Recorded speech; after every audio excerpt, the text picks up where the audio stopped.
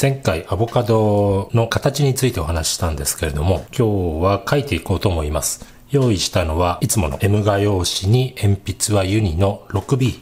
を使って始めたいと思います。この鉛筆のセレクトに関してなんですが、ステッドラを使う時とユニを使う時が、まあ、バラバラにあるわけですけれども、どんな風にしてその選んでいるかっていうことなんですが、私の場合は、急いで書くとき、早くこう黒さを強く出したいっていう時には、このユニを好んで使います。ステッドラーは繊細な仕事とか明るいトーンに向いていると思うんですが、えー、一気に暗い色をつけていくっていう仕事だとユニの方が手っ取り早いと思っていまして、そういう意味でユニ 6B、一番黒がすぐに出るんじゃないかっていうセレクトになっています。早速行ってみましょう。こんな原寸大くらいでかけるかな。この辺だと影も入れて、この辺りに書いていってみましょうかね。え、ー、と、まずね、まあ、いつもこんな風に私書き始めてるんですけれども、外側をこう決めていきます。外側。このシルエットですね。でその時に影も含めたシルエット。えー、今回の例で言うと、こういう形かな。えー、こういう形ですね。外側をこう結ぶと、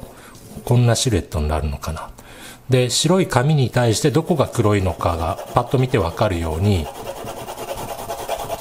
もう色塗っちゃいます。でなるべく鉛筆は寝かせて線が、えー、鉛筆って木炭に比べると細い線しか引けないのでなるべく芯を長く出してワンストロークで幅の広い線ができれば1センチくらいの、こう、線ですね。この、この、今、これでだいたい3ミリくらいですかね、横幅がね。これが1センチくらいのが引ければ最高なんですけれども、まあ、こんな感じでいきましょう。えー、右下に向けて、えー、先の細くなってるところが右下に来るように、えー、モチーフを、アボカドを配置しています。でよく見ると、この影はどうかな？もうちょっと上かな？もうちょっと上ですかね。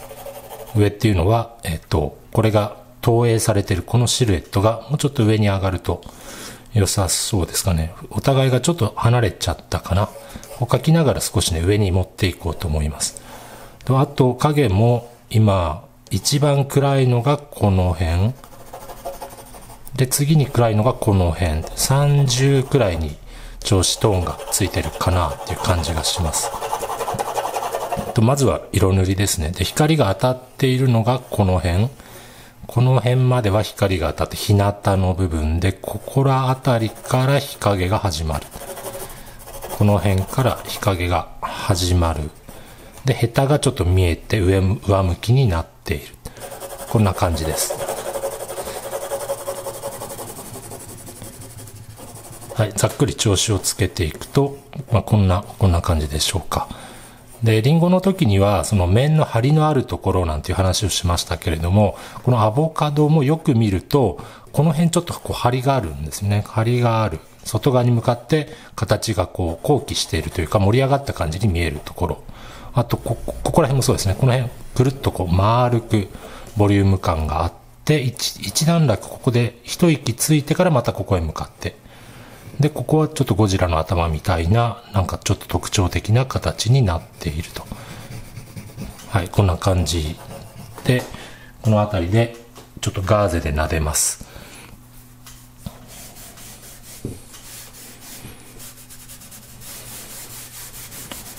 で、ガーゼで撫でるとせっかく暗くした、黒くしたつもりでも明るくなっちゃうんですよね。えー、どうでしょう？この2つを見比べてみて、この真っ黒さになかなかね、たどり着いていないと思います。あと、ここね、ハイライトピカピカチラチラ光っているところあるんですけれども、その隙間というか、光ってるすぐ隣は、ザクザクと暗い濃い色が乗っかっていて、えー、まあ、なんて言うんでしょう、こう、光と影の境目が、コントラストが強く見えるのが、この、この辺りですね。この辺り。チカチカチラチラとして見える。ここは紙の凸凹のこの白い粒々が少し見える感じをうまく利用して書き進めていけたらいいかなと思います。はい、こんな感じかな。はい。で、もっとね、思い切って色をつけていかないとなかなかこの暗さにはたどり着けそうにないので、どんどん乗せていきます。筆圧上げていきますね。えっとね、光が当たってていても、この辺、光が当たっていても暗く見える、濃く見えるところから、この辺りから左下にかけては光が当たっていなくて、日陰の影の中なんだけど暗く見える。なんだけどっていうのも変ですね。日陰の影の中だからこそ暗く見える。だけどちょっと反射光が入っている感じでしょうか。はい。ここの、この、この世界ですね。この世界はもっと思い切って暗くします。筆圧一気に上げていきます。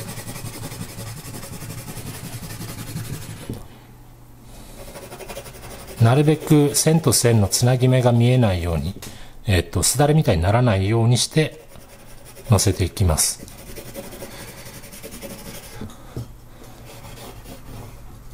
はい、ここから下は、ここですね。えっ、と、アボカドよりもアボカドの影が床に映っている、床の方が少し暗く濃く見えているところなので、床の影、床の影のこの際をしっかりと描いていきます。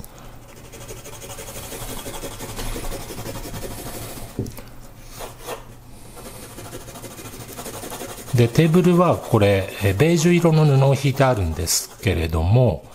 えー、コットン製なので、えっ、と、アボカドのこのゴツゴツ感、デコボコ感に比べると、もっと滑らかな質感になっています。今こうやって鉛筆乗せただけだと結構紙の目のザラ目が、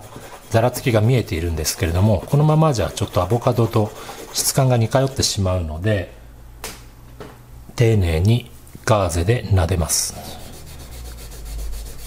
丁寧に撫でます。と思ったけど、ここは殺筆を使った方が良さそうですね。殺筆の方が結構ね、細かいところまで粉が入ってくれるので、私はガーゼとの使い分けを、えー、ガーゼはまあ大きな面積を一気に撫でるには適してるんですけれども、粉のこの凸凹の目の中への入り具合で言うと、殺筆の方がちょっとこう優れているというか、こ殺筆だけで書いてみますね。こん、こんな感じ。わかりますかね？こんな感じ。えっ、ー、と、紙の目の引っ込んだところに粉が入っていく感覚が、ガーゼとはちょっと違うんですね。えー、よく私、ガーゼと殺筆の使い分けを、細かいところと大きな面、面との差で使い分けるっていうふうに、口では言うんですけれども、実際のところはちょっとそういった結効果の違いがあります。殺筆の方がもうちょっとガーゼよりも紙の目の引っ込んだところに入り込みやすい。そういった作用が、えー、ちょっと違うので、そういう意味で使い分けたりすることもあります。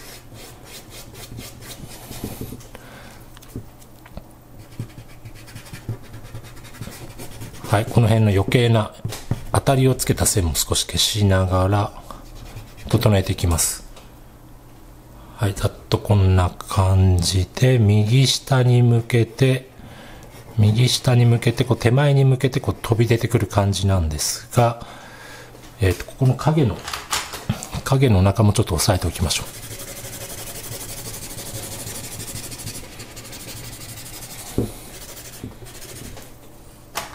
はい、どうでしょう？こうやって押さえてみると、まだず、ずいぶん明るいグレーなんですね。で、ここからもう一段階暗い色をのせていきます。で、タッチの向きは、ここから先はちょっとね、ランダムに、面の向きを意識しながら、凸凹を意識しながら、わざと、このゴツゴツした質感を、タッチである程度見せていけるようにその場所に応じて結構ランダムに乗せていきますもうめちゃめちゃな向きですね。あっち向いたりこっち向いたりわざとこう揃わないように。で線のストロークがあまり長くなりすぎるとまたこの凸凹感出ないので短くしていきます。せいぜい長さにしたら5ミリ程度。5ミリよりタッチが長くならないように細かくこう動かしながら乗せていきます。こんな感じでしょうか。でもうここまでで見えますかね？えっ、ー、と 6B の鉛筆の先がもうだいぶだいぶ丸くなっています。はいここでちょっとね 5B に持ち替えてもうちょっとディティール書いていきます。例えばこの辺光が当たってる側。鉛筆の先が効く鉛筆をに持ち替えてえっ、と柔らかさで言うと 6B よりもちょっとね硬くなりますけれども少しこう光が当たっているところのディティールをしっかりと書き起こしていきます。で、この動かし方もやはり面の向きに沿って、ゴツゴツした感じに沿って、で、向きがあまり揃いすぎないように乗せていきます。あと、エッジを少しこう立てるように、えー、輪郭線ですね、外側のこの終わるところ、形の終わって見える向こうに回り込むところは、形をちょっとね、このゴツゴツしたゴジラの背中みたいなところの、その形に沿って、エッジを立てて決めていってます。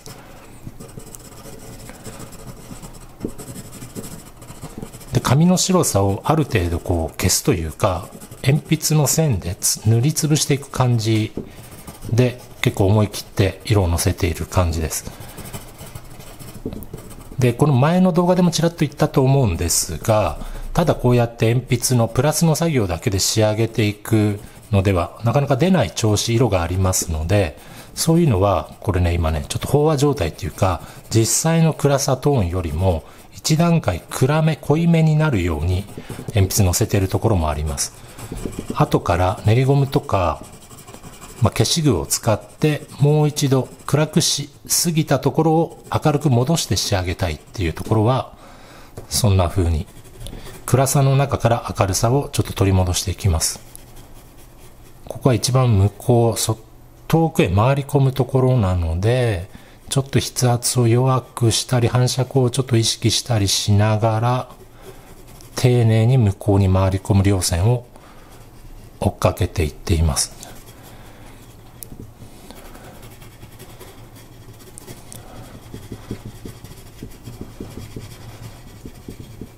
えー、筆圧を上げたり下げたり、えー、強く鉛筆を押し付けたりわざと力を抜いたりしながらそれぞれの場所に応じて書き分けていきます。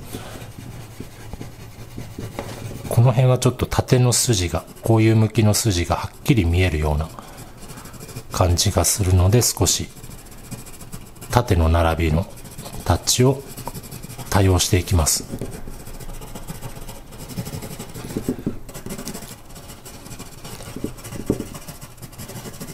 でこの質感表現する上でやはり重要なのが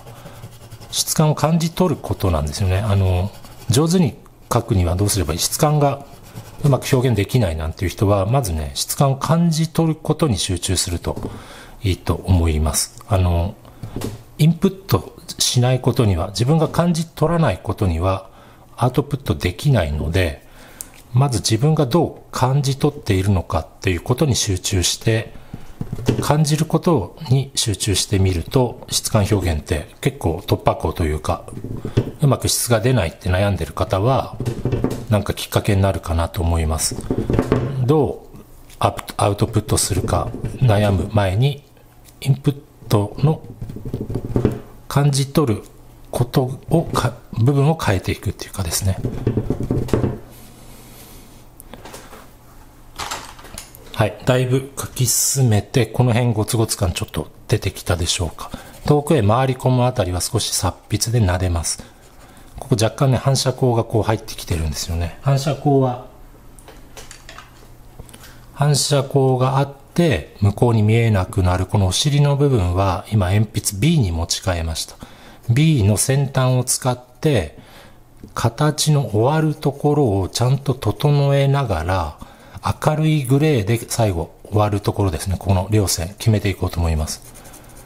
えー、ここで B とか 2B とかを使わないで、あえて HB とか B とかの固めの鉛筆の先を使って向こうへ回り込む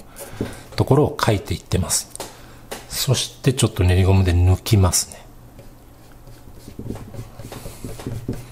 左下、ここはちょっとこう、後ろからの光が、布に映った光が反射光が入ってくる感じなので、ちょっと硬めの鉛筆、入れています。そしてもう一度、もう一度この影の色が明るいので、もう一段階暗くします。で、ここのね、影の中に入っちゃったこの辺りは、もう完全私は潰していきます。描写をしな、しないっても割り切って、ここはもう潰しちゃいます。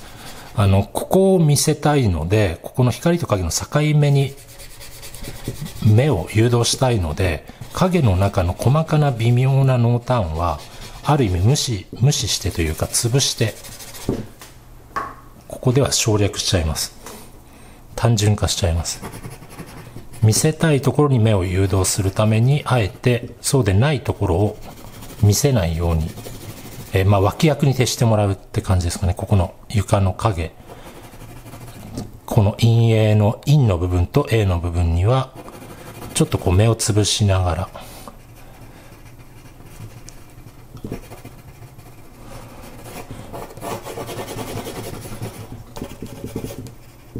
ここ、こはちょっとだけ形が見えていて、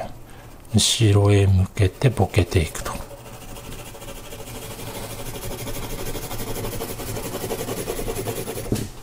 ちょっとこれ見えすぎましたね。もうちょっと潰したいですね。ここは、殺筆も使って、ガンガン潰していきます。目を潰していきます。ちょっと似通ってきましたね。もうちょい明るくしようかな。ここ少し明るくします。影の中の外側の縁ですね。ここちょっと明るくします。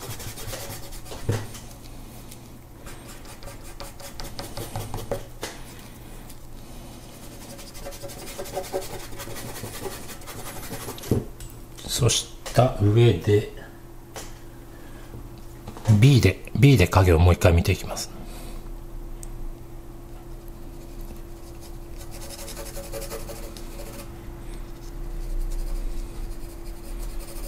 今使っている鉛筆はこれ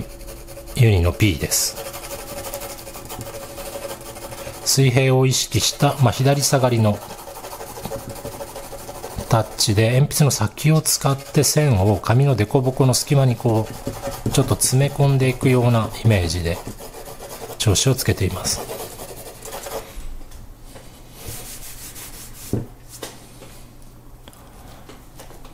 もう少し輪郭を整えていきましょう。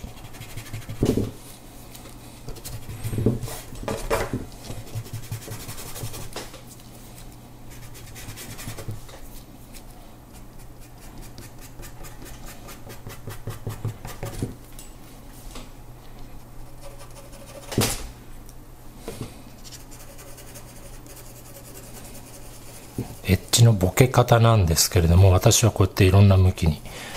こう、ふわふわふわふわと丸、丸みに沿ったタッチを入れたり、水平なタッチを入れたりしながら、あと微妙にできたこの鉛筆のムラも取っていきます。えー、鉛筆がつきすぎたり足りなかったりしてできる、まあ、単純にこう、フラットに見えない、グレーがフラットに見えない、塗りムラですね。塗り、塗っている時のムラを取っていきます。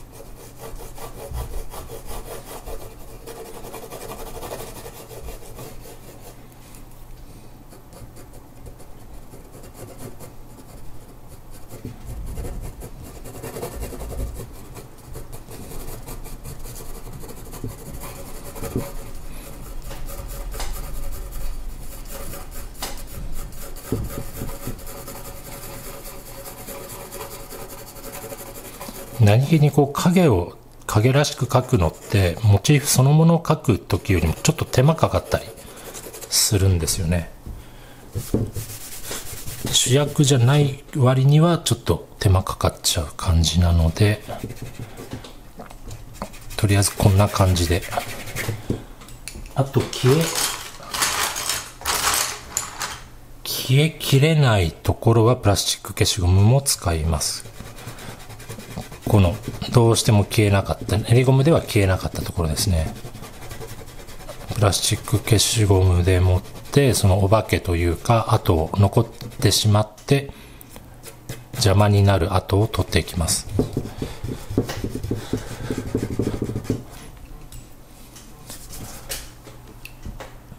はい。どうでしょうか。結構黒くしたつもりだけどまだ足りないですね。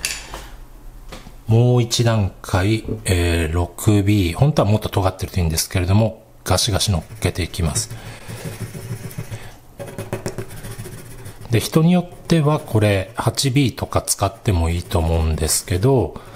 暗さ濃さが出るところまで、まあ、ほぼ真っ黒に近い色にこれ見えているので、で、私は筆圧を思いっきり上げて 6B まででそこまで出したいと思うんですけど、あと、なんかちょっとこう、何て言うんでしょう。こう、傷跡みたいな、ちょっと白く見えるところがあったり。よく見ると均一じゃないんですよね。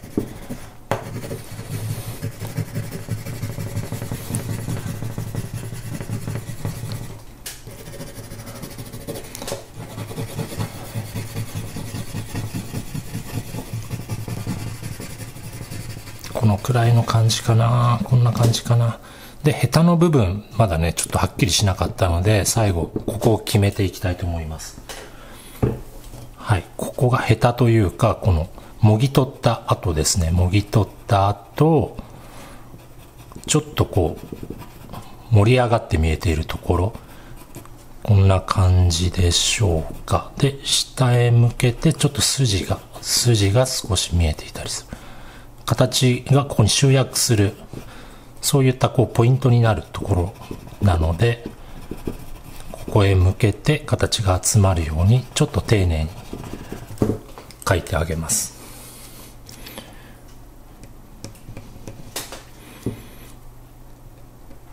あと、えっ、ー、と、今出してないですけれども、あの、シャーペン型みたいな、えー、細かい部分を消す消しゴムがあるんですね。えー、あれもこういったデコボコしたこのつぶつぶの白い点々みたいなところを書くときには非常に便利だと思うので、えー、このちっちゃい点々をね、うまく書けない、どうしようっていう人は試しに使ってみるといいと思います。はい、この光と影の境目っていうかね、光が当たっているところ、このゴジラの背中みたいなところは結構しっかりと克明に描写していきます。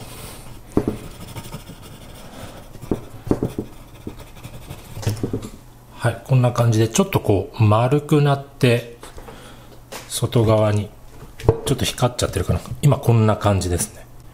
で、どうでしょうか。